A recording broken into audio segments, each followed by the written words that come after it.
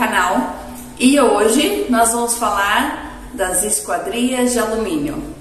Faz tempo que eu tô querendo falar esse assunto com vocês, estava ansiosíssima para chegar e nós já temos o fechamento parcial da casa, mas a parte aqui de cima do segundo andar já está fechada. Então vou mostrar para vocês tudinho em detalhe. É, vai ter bastante eco agora, tá? Porque tá vazio, como, conforme a gente vai fechando o eco vai ficando maior, mas eu acho que dá pra vocês entenderem direitinho, tá bom? Confere comigo.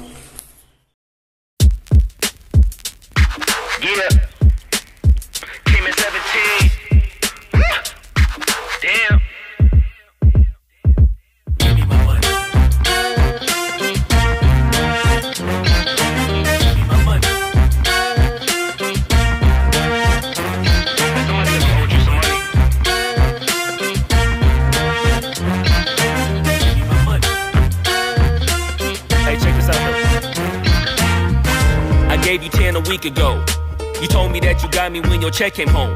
I've been waiting patiently cause you my homie, bro. But times is getting hard, so I'ma need to see that cheddar though. You ain't been picking up, you finding escapes. I might have to white you out just like you Colgate. You been ducking at the crib thinking that you safe, but little do you know I'm posted right up in your driveway. I'ma beat you up, I'ma tear you down. I'ma turn your little smile into a big ol' frown. Yeah. Cause evidently you don't wanna send a message now. And you holding to my money like you Oscar proud. I'ma find you and I'ma get you. I'ma stick into your head just like I'm can to. It's a couple things in life I'll make amends to, but owing me some money, hell no, nah, this a no can do. 17. Yeah.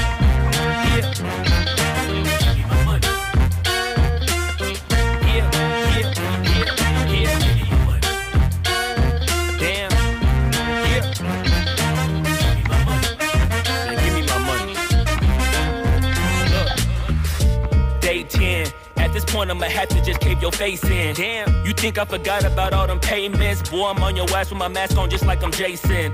I know that you bounded to get complacent. Pop out the smoker, ask Tay Tay about how her day went. Hmm. Just know I've been plotting and I've been waiting. Might hit you with the orange Bronco just like I'm Peyton. You need to get my money, come on. This ain't no sweet life, I'ma need to get my bread and no song. You want IG and your Da Vinci and your shirts be long. But in real life, you broke it in a Paul George fibula bone. I know you gon' pay me when the time's right. But the time is now, I'm finna knock out your lights. Got you thinking, shoulda never tweaked on me twice. And had you curving up that hill just like a turnpike.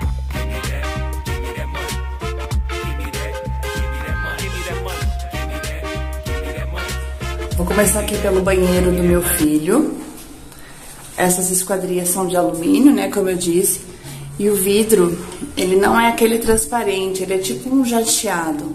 Eu vou pesquisar o nome direitinho, que agora eu não me lembro, e eu deixo aqui na tela para vocês, tá?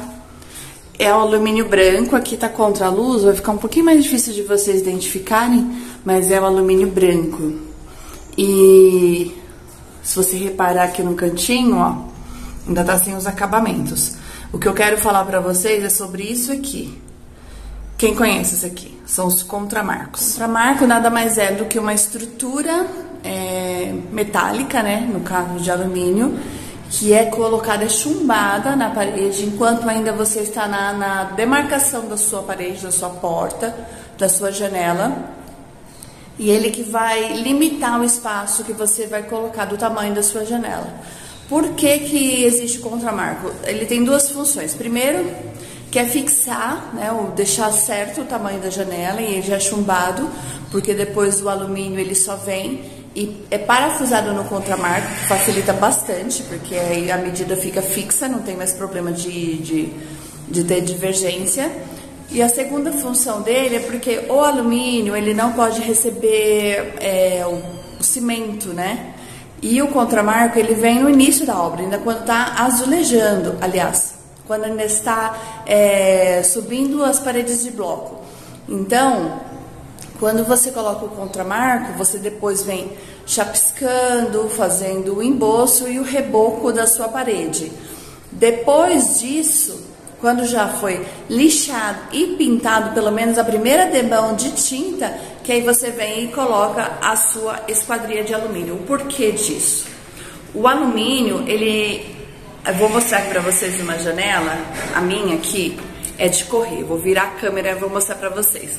Ali atrás eu tenho também uma porta de correr e no, eu tô no meu quarto agora, né? E na frente é uma janela. Quando você coloca o alumínio, no caso desse aqui são feitos sob medida, é, você tem que deixar o máximo preparado possível da sua parede, com, com a pintura, com pelo menos a primeira demão, lixar, maciar, corrigir os, as imperfeições da parede, porque senão, a hora que você colocar alumínio e for fazer isso depois, você vai ter algum problema de manutenção com o seu alumínio. E aí o contramarco não tem problema, o contramarco ele recebe o, o, o cimento, a lixa, a tinta, ele não tem problema, porque ele vai ficar escondido e depois ele fica com o acabamento por fora do alumínio, que ele fica como se nunca tivesse acontecido. Nessa janela aqui do meu quarto, aqui a gente vê um pedaço do contramarco, ó, tá vendo? Esse aqui é o contramarco, e aí a janela foi fixada nele. Você vê que aqui tem massa, né, da, da pintura, aqui tem cimento, por horas você vai ver cimento, enfim. E aí o contramarco, olha aqui, ó, esse risquinho tá aqui não é de, de parede trincada nem nada disso, aqui é o alumínio do contramarco. E aí depois vem o acabamento aqui e ele fica totalmente escondido, o acabamento que já faz parte da janela. Olha só como a janela corre bem livre. Aqui do meu quarto eu fiz com a tela, a tela mosqueteiro e o vidro. Ó. Se eu deixo pra Vou abrir aqui, vai até melhorar o som. Se eu deixo para fazer, olha aqui, só o fato de estar em obra, a gente já tem a sujeira aqui. Se eu deixo para lixar, preparar a parede depois da janela colocada, gente, você vai sempre ter uma janela raspando, pegando. Então, as janelas de alumínio, e eu posso falar que praticamente todas as janelas, né? Você tem que pôr no final da obra. Essa aqui ela tem aquela. Opa, chacoalhei tudo. Essa aqui tem aquele fechamento pela fita. Tá vendo ali a fita? Essa fita aqui que a gente vai puxar e vai fechar. E olha só um detalhe. O quarto já tá pintado toda com uma primeira demão. Eu usei aqui a tinta souvenir acrômio, que era uma cor que eu queria. vou passar ela na casa toda. Vai ser uma cor só. E aqui, ó, já tá tudo sujo. É bem complicado de você ficar pensando na, no cuidado com, com a parede, no sujar, de tudo, quando você está colocando janelas. Então, primeiro é feita essa primeira demão de tinta, tudo preparado, e depois que aí você vem e faz o acabamento final. Olha ali em cima, ó.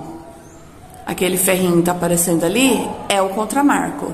Por isso que tem que ter colocado ele antes e depois vir com todo o acabamento. Eu vou mostrar para vocês aqui o funcionamento dessa persiana. Ela é a persiana blackout, tá? Ela tem um fechamento da vedação completa da luz. É, teoricamente você não precisa de cortina. Eu, eu penso em colocar alguma cortina, apesar de não ter feito cortineiro de propósito, para dar aquele aconchego. Mas ela funciona assim. Ela tem essa fita e aí você puxa ela para frente aqui, ó. Conforme ela vai indo para cima, a sua janela vai descendo, assim ainda passa luz e, e, e vento, né? Ventilação. Mas se você continuar descendo, ela tem um fechamento total. Muito bacana, né?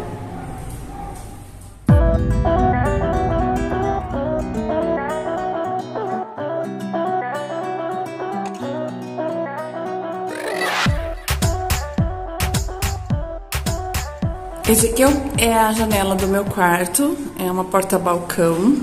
Eu vou deixar as medidas aqui, que agora eu já não me lembro mais de cor.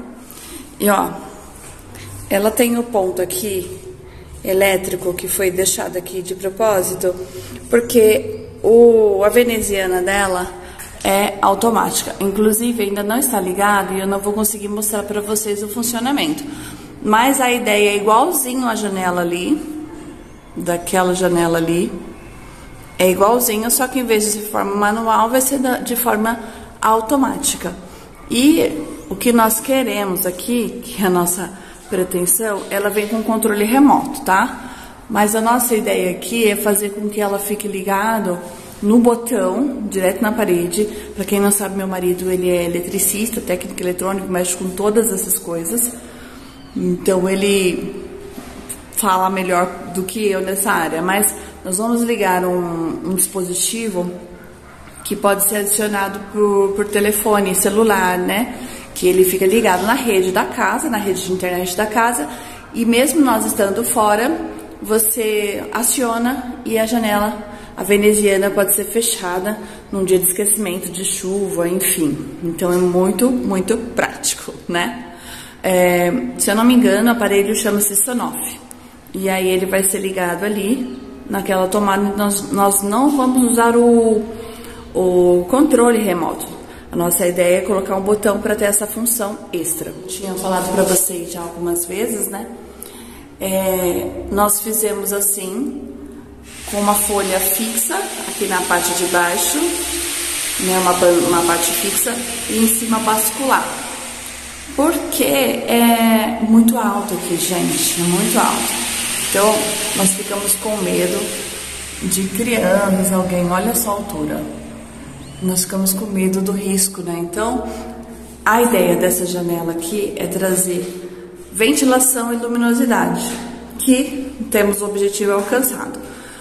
Mas tem um risco, né? Imagina, esse, esse pé direito dela aqui, ó, a altura dela é bem baixa e fica muito arriscado de queda. E para quem está se perguntando, que, que é esse buraco aqui? esse buraco aqui é onde vai ter uma saída que dá lá embaixo na minha lavanderia.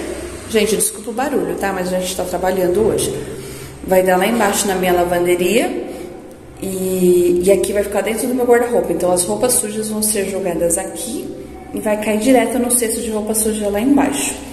Tenho explicando isso certinho no Diário de Obra 1, que tá falando certinho sobre esse projeto, tá? E aqui também, ó, as paredes já estão pintadas com o mesmo cinza crômio.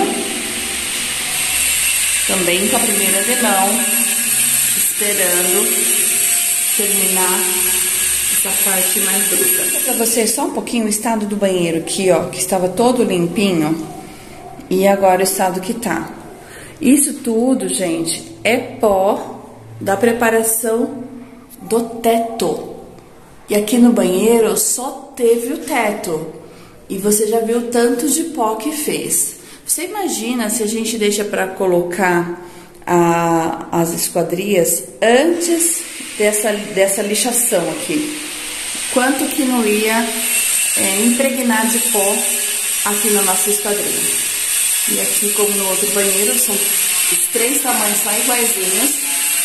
E ali você vê bem direitinho contra a marca, né? Porque aqui não tem a pintura. E ainda vai vir o acabamento também no alumínio branco. Mesmo sistema de abertura que chama-se Maxiar. Por último e não menos importante, a janela aqui da minha filha, a porta-balcão do quarto da minha filha.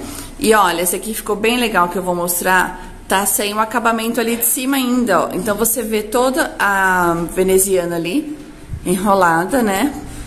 E ela vai descer aqui fazer fechamento também no automático. E esse, essa dela tá sem a veneziana, porque ela tá sem os vidros também. Tá só com a telinha aqui. É só com a telinha aqui, ó. Deixa eu ver se eu consigo dar um foco nessa tela. Aqui, ó. Opa, e aqui, ó. Tá só com a tela. E estamos sem os vidros. Deixa eu puxar aqui um, ó. A esquadrilha está aberta. E aí o acabamento ali de cima Tá aqui no quarto do meu filho. Vou caminhando com vocês pra lá, ó. Ah, aproveitando a janela dela ali, né, também. Iguaizinhos do, dos outros dois banheiros. E aqui, ó, o acabamento que tampa ali a, a veneziana da porta-balcão do quarto dela. Fez muita diferença aqui no som, principalmente e também na, na ventilação. E, gente, é, o que eu tava falando para vocês do contramarco. Aqui na sala não foi colocado nenhum, nenhuma das esquadrias. Olha aqui, ó. Tá aqui o contramarco chumbado. E você, você reparar que, ó, tem cimento, tem tudo, e aqui não tem problema. Quando tem problema é quando vem a, a janela mesmo do alumínio, que aí ela queima, queima a pintura, queima tudo. Gente, a visão da, das esquadrias lá de cima das janelas de alumínio aqui por trás é essa, vocês ficar, dá toda a diferença no acabamento, né? E por enquanto o que eu tenho pra falar é isso, o fechamento dessa janela. Vou ficar por aqui, o vídeo foi esse.